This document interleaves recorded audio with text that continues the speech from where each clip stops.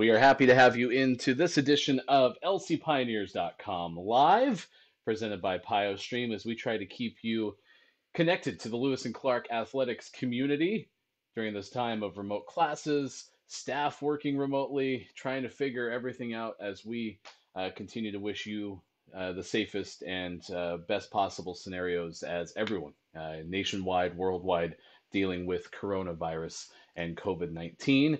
Uh, the goal as we welcome you in is to keep you connected to the Lewis and Clark athletics community with conversations from student athletes, coaches, administrators, everyone who makes uh, everything work for Lewis and Clark athletics. We want to try to keep you connected to them, talk to them about their stories and how they're adjusting to uh, hopefully a very temporary uh, but current reality that we're dealing with with all the changes that are going on uh, throughout the country and the world. I am Ryan Goff. I'm the play-by-play voice and director of athletic communications for Lewis and Clark athletics. Uh, we are located in Portland, Oregon. And we're a member of the NCAA Division III World competing in the Northwest Conference. So Lewis and Clark competes with schools throughout Northwest Oregon and throughout the state of Washington in the Northwest Conference, as well as other D3 schools and institutions at other levels uh, throughout the entire Northwest and even uh, nationwide. You know, we have two exciting guests that are coming on with us today Mel Ho'omanawanui of Lewis and Clark football, Kayla Valdez of Lewis and Clark volleyball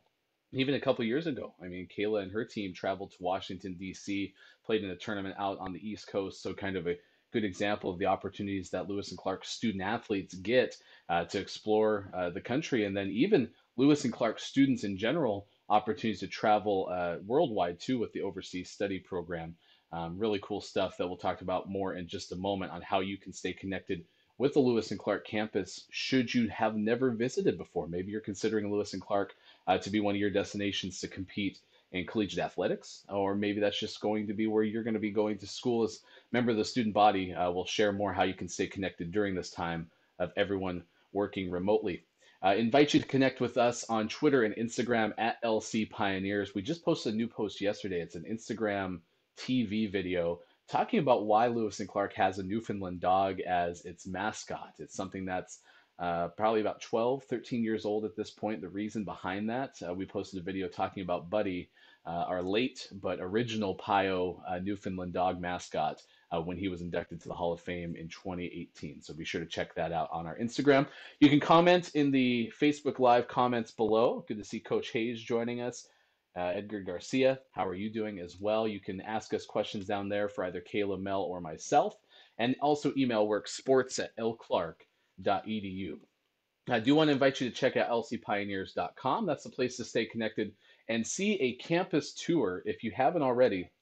Uh, our coaches from cross country and volleyball did a great job putting together uh, a cool campus tour. It's a time lapse video. The entire thing took them 90 minutes to shoot live on Facebook, and then they condensed it down to a six minute tour. You can see our graduate campus, you can see our law school campus in addition to the undergraduate campus, the facilities at Lewis and Clark. That's right there on the front page. And then as we continue to have more guests on lcpioneers.com live, you can see past episodes. We have our conversation yesterday with Maddie Lee, who's an alumnus from the softball program, class of 2015. We talked to her yesterday as she's now an NBA beat writer for the Oklahoma City Thunder and the Oklahoma newspaper. That conversation's there now and links to our past conversations as well. Also invite you to go to lcpioneers.com slash YLC, W-H-Y-L-C, and you can get to the Lewis and Clark College virtual visit page. You can see different things that are going on there, including information sessions that they're holding on Instagram. It was neat to see Sabrina Murray, who's a junior for the Lewis and Clark swimming program, on Instagram yesterday, talking with an admissions counselor and kind of keeping people in tune with what's going on uh, with Lewis and Clark and those interested in possibly joining us on Palatine Hill, the beautiful campus just six miles north, uh, southwest rather, of downtown Portland, Oregon. Uh, but let's get to our guests. Uh, Kayla Valdez, Mel Ho'omanawanui. They are two Lewis and Clark student athletes. And the reason we're having them on is because last weekend was supposed to be the annual Hawaii Club Luau. And while it didn't happen, the planning certainly was happening. The work that these students put into producing what is probably a top five, if not the top event. In fact, Sabrina Murray talked about this yesterday. What are some of your favorite events on campus? And she said the luau is something that she absolutely enjoys, and she was disappointed that she couldn't have that uh, this past year. So let's bring them in, Mel and Kayla, both from Hawaii, joining us at 8:30 local time uh, on the heels of classes.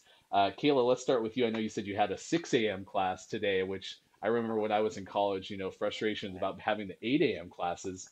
Uh, how have you adjusted to, to being uh, back home and, and getting used to those earlier times? Um, it's definitely um, been hard uh, to adapt to the time difference, but um, our professors have been really supportive in adjusting to the people who have that time zone difference. So um, I guess just being able to support us during this tough time and understanding and um, adjusting the, the workload has definitely been a great help for me um, from this transition. Uh, Mel, uh, same question for you. I mean, everyone uh, heads home kind of in this uh, mad dash, and, and now you're taking classes earlier, adjusting to, to new times. What's the transition been like for you? Oh, shoot. Actually, I'm still in Oregon right now, so that um, I uh, the time zone I haven't had really to adjust to. Um, and my earliest class is about 10 o'clock, so um, I'm not really having to adjust the time. It's just kind of um, making adjustment adjustments in my daily plan. Um, gotta um, take time management a lot more seriously. Um, since we're just at home, it's really easy to be lazy and not go to class or not do the stuff you need to do. But um, I think that's been the biggest adjustment for me so far. Well, that's great that you're still in, in Oregon and, and not having to make necessarily the extra time adjustment. We were talking to some students yesterday, and, and that is a real thing. I mean, it's it's affected me too. Just trying to get a new routine when you're not on campus and finding uh, that motivation can be difficult. Uh, Mel, you're a physics major. What is it that um, you've liked about your major as you've moved into your upperclassmen years? Uh, specific classes that maybe have really stood out for you. Um, one thing I really like about being a physics major is that we're um, we have a pretty small class. I think um, there's no more than 15 people in my uh, in my class right now. Um, that's physics majors, and I think like um, because we all take classes together, I think creating like those relationships and uh, like friendships from class, I think is really important. And um, that's a really good thing about Lewis and Clark, where the class sizes are a lot smaller. You get to know your classmates and your professors a lot better. So I think that's one thing I take away from being a physics major. Kayla, you're a, an economics major. Uh, when you think about some of the highlights from that path and what you want to do, what stood out to you? Um, I think uh, insurance and definitely um, real estate comes to mind when I think about that. Um, just like Mel mentioned, um, I think the relationships that we build in the higher level classes, struggling together with all the tests and homework that we have to go through, is a great encouragement to push through through hard um, majors such as physics and economics. So just having those people along with you makes everything um, worth it. Kayla Valdez, Mel Ho'omanawanui joining us on lcpioneers.com live. Again, you can connect with us on Facebook, Twitter, and Instagram at LC Pioneers. The reason I wanted to have you on is because of the Hawaii Club Luau, which is not is not something I've been able to attend. Every single year, I grab my calendar, I try to figure out if I'm going to be able to go based on the game schedules that we have and some of the events that are going on and I have been told firsthand that this is something that I'm absolutely missing out on. Uh, Kayla, what's the planning like to get this event off the ground? How early do you start? Kind of walk us through the process from start to finish each year. Yeah, so we actually meet as a luau committee before we go on to Christmas break. So this kind of involves um, the president of Hawaii Club, who is Carly Wayne. Um, she's a senior, um, and then most of us are the choreographers and just some people who kind of want to help out during um, luau. And so I believe the practices don't usually start until the first week of, of February. And that's when we kind of choose the times that we want and the places where we want to meet for our practices and then from there it's kind of an ongoing practice every week. Um, we kind of meet on our own selves for the luau committee. It's not really a formal thing. Um, we order all the uh, costumes and all that before luau, such as like delays and everything else that goes into the planning of it. And then the week of luau, I think, is the most stressful and craziest for us. Um, we have practice, I believe, every day, and then starting on that Thursday, we have the gym being set up, and then we're able to use it. And then Friday, we have a full dress rehearsal with the live musicians that we um, asked to come and play for us. And then Saturday, we also meet once um, before the luau actually starts in the morning, just to do a quick run through of the program and to make sure everyone is um, on the same page for that event ready to happen that night. Uh, Mel, she talked about choreography. Um, curious, you know, how you got started with hula and why uh, this is an event that you like to, to be a choreographer for. Well, I was first introduced to hula when I was in seventh grade. Um, I it was an elective, and I could I was able to choose between band, orchestra, choir, and then hula. And because I'm majority Hawaiian, um, majority Hawaiian descent, I wanted to learn more about my culture. So starting from seventh grade all the way through senior year of high school, I um, I took hula, and I I loved it. So when I first came to Lewis and Clark my freshman year, um, they didn't have a um, a choreographer for men's for the men's dance in the um, for luau. So the president at the time, Alex Navarro, she asked if I wanted to be the choreographer for men's, and I said, yeah. As a freshman, I was I was happy to do it. So freshman year, I think we only had maybe like six guys, all from Hawaii, and then throughout the years, it's like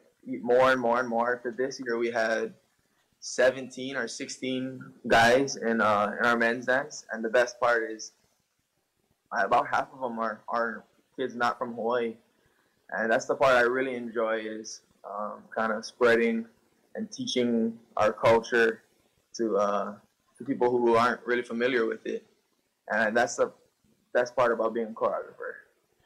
Uh, and Kayla, uh, the Lewis and Clark volleyball team told me that this is something that I should dance in in the future. I know that you do have a lot of folks from from faculty and staff who participate. What's that like in terms of kind of building on those relationships that you do establish with coaches, professors, and staff members at Lewis and Clark?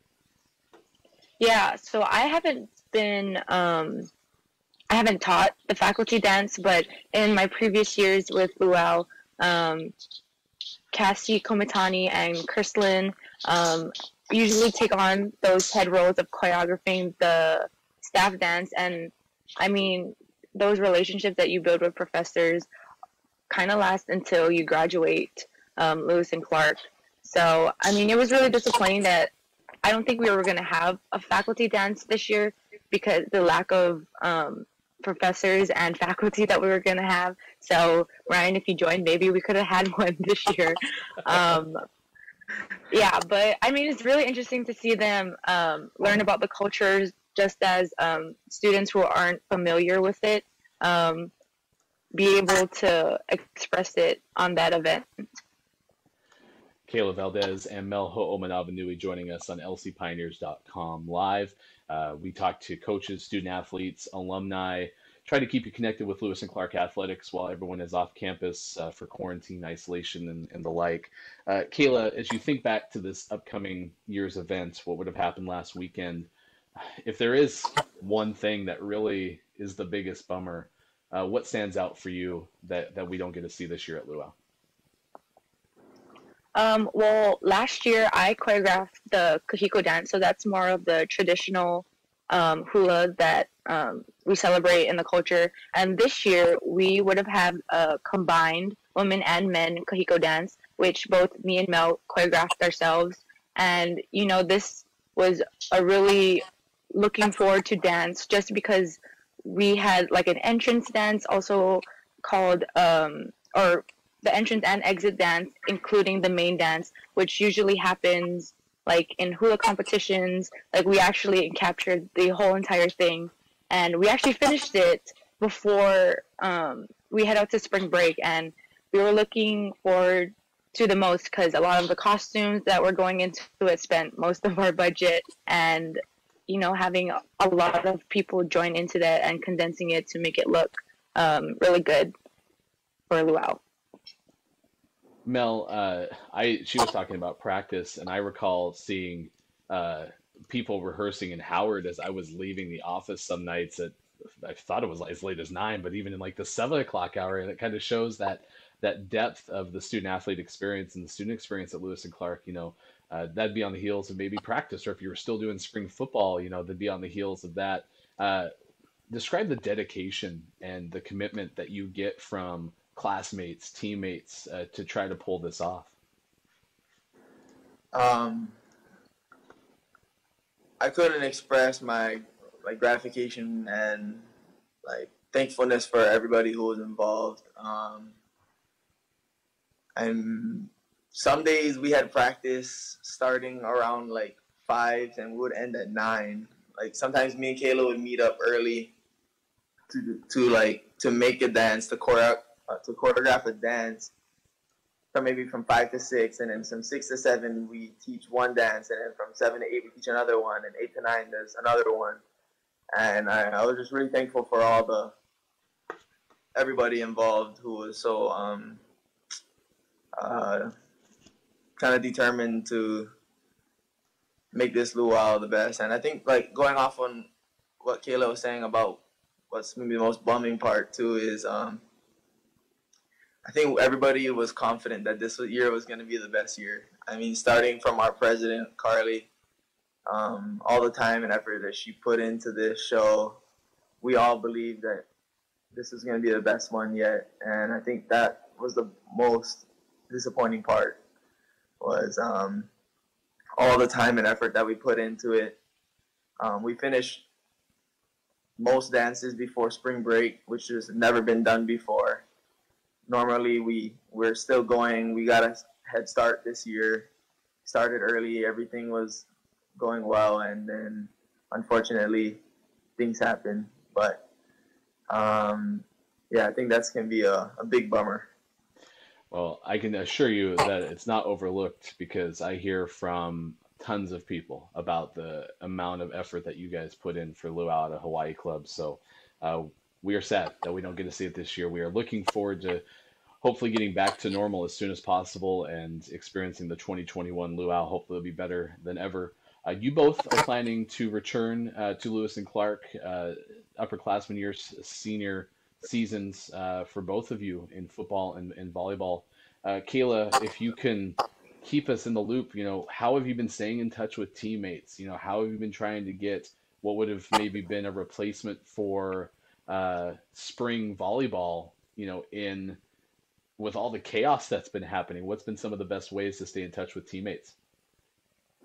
Um, you know, our head coach, Emily Hayes, um, shout out to her. I think she's listening right now, but she does almost everything to keep this team together, um, especially in this sort of time where we would have been together in the gym. Um, right now, it's like film analysis where we meet with our position groups, and then we'll be able to go over it as a team um, together with the different position groups, with the back row, the front row, and you know, just being able to be together during this time where we should have been, and also um, we also have a group chat. So we're constantly talking every day with each other, including our 2020 um, commitments. So it's like we already started our fall um, season together as a team, and it's great because we get to know um, the incoming freshmen and we get to establish more relationships with people that we don't really talk to on the team and to build that chemistry so that when we come on the court for this fall, we're ready to go uh, volleyball's had some pretty strong success in the first two years with Coach Hayes leading the program. Football, you had your best season, Mel, uh, in a significant number of years with a four and five year this season. Uh, same question to you: How do you stay in touch with teammates and make sure that uh, should everything return to normal for the fall, you guys are ready to build? Um, one thing that I think has been really helpful this year or this off season, especially during this time, is that um, Coach Losi and Coach Bushman, they, um, I guess, so over the years we've had a leadership council, which is uh, consisted of two or three players from each position, and um, we all meet as kind of like leaders of the team, and we talk to the coaches. But this year we've done something different where we've been meeting every Sunday from six to seven.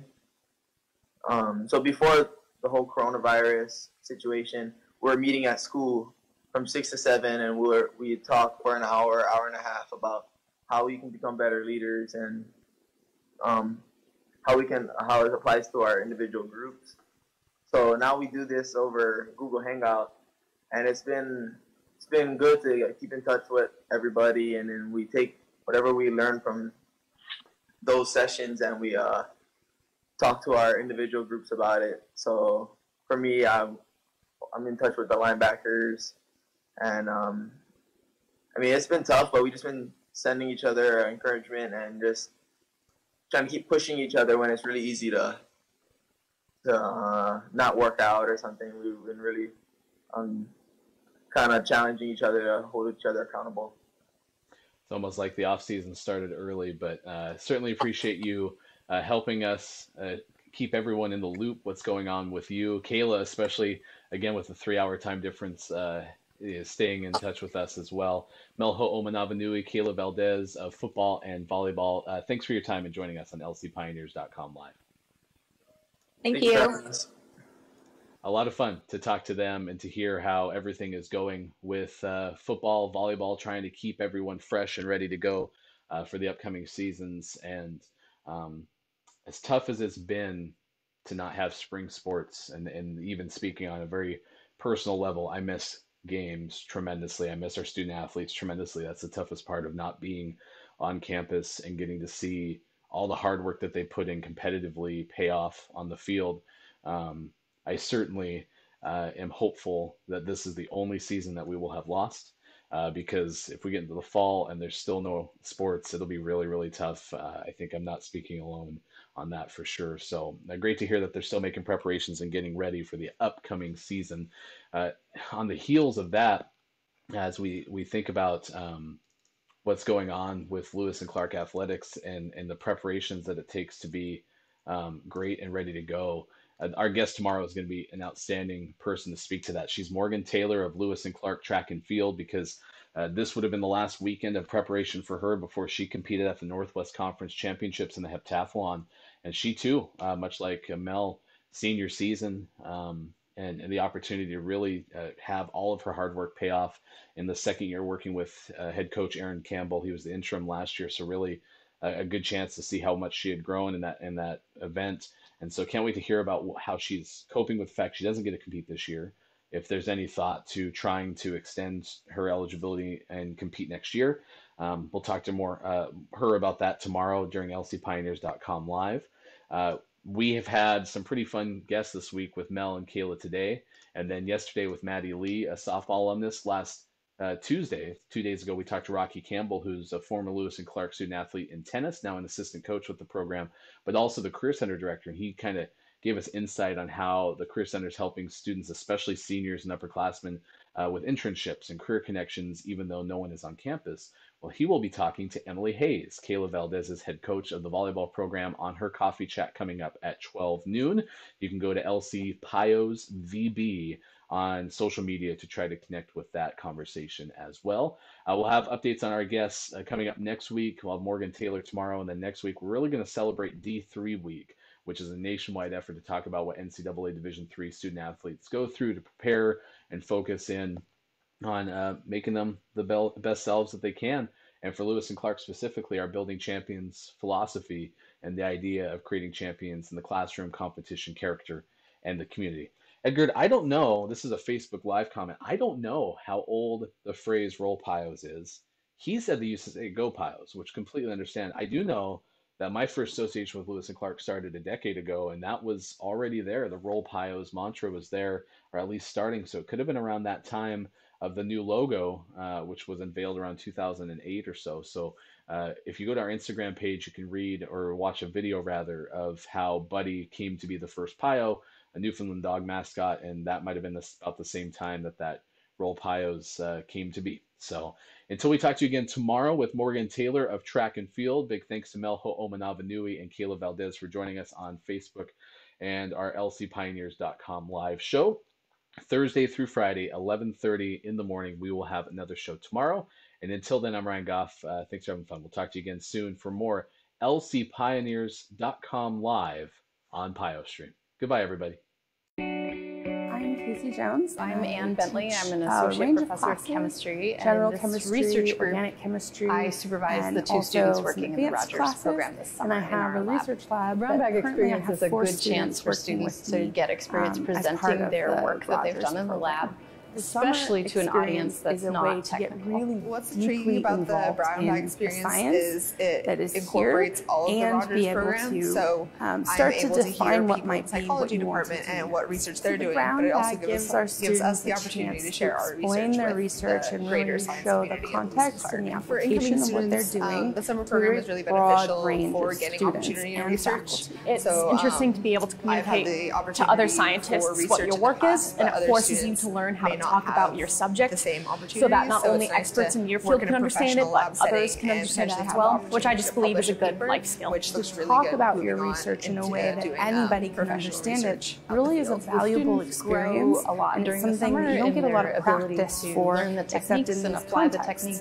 because oftentimes and you're giving their own ideas for what could come classroom filled with people who interpret their data. basically data. the same things that you do but in a usually brown if they bag haven't done you have research to be before, able they learn a lot in that short period of time. explain and provide motivation for everything that you're working on and why it's important and why it's relevant to be studying.